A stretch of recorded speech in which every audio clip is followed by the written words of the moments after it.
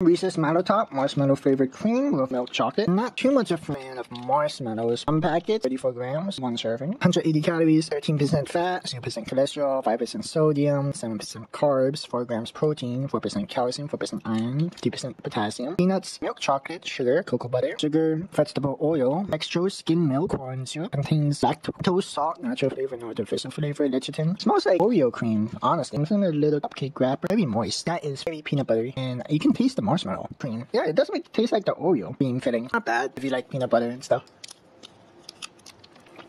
But it's moist. I like really moist.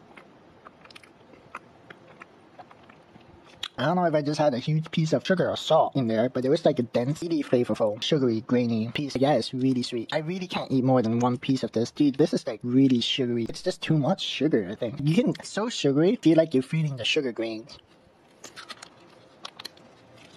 Definitely a no for me. That was just too much, dude.